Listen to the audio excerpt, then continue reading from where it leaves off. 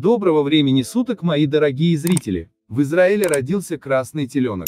Красная корова – зловещий символ для приверженцев иудаизма. Она занимает центральное место в предсказании конца времен. Сотрудники Института храма в Иерусалиме уже провели тщательное обследование теленка. Несколько лет назад в институте начали программу, целью которой было вырастить красную корову в Израиле. Для этого предполагалось использовать замороженные эмбрионы породы ангус красной масти передает The Sun. Отметим, последователи ортодоксального толка верят, что рождение красного теленка согласуется с пророчеством и означает приближение апокалипсиса.